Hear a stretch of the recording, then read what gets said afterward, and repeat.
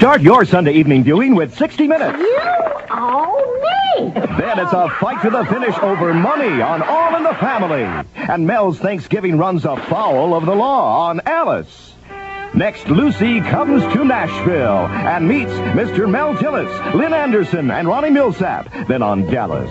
I'm pregnant. You may not be the father of our baby. You tell me. It all starts Sunday evening at 7, 6 Central and Mountain.